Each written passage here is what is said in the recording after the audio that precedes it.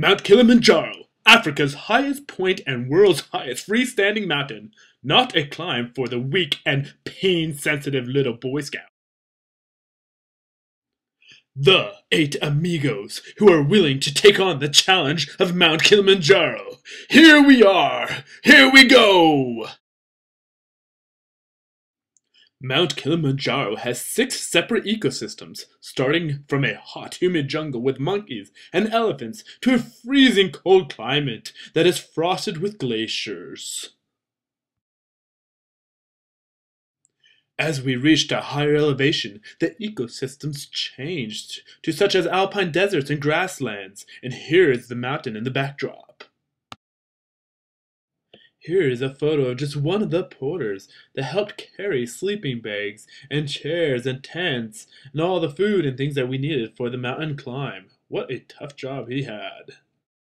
The crazy bunch of kids waiting for a cup of hot chocolate to kickstart the day, the one thing we look forward to the most in the morning.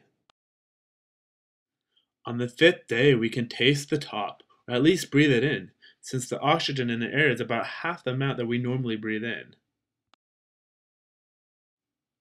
After hiking throughout the night and reaching the top, at dawn, we appreciate the beauty and are grateful to be able to get to the top. What a humbling and difficult experience it was for each one of us.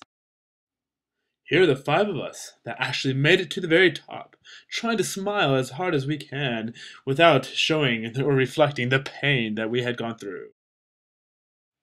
At the end of the climb, towards the bottom of the mountain, our friends and our guides sang us a song in their native tongue, and now you have an opportunity to listen.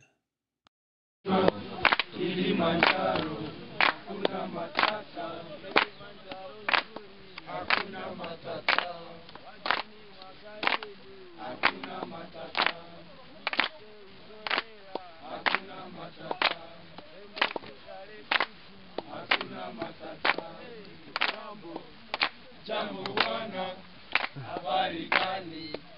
Nzuri sana, wageni wakaribishwa Kilimanjaro, hakuna matata, hakuna matata, hakuna matata.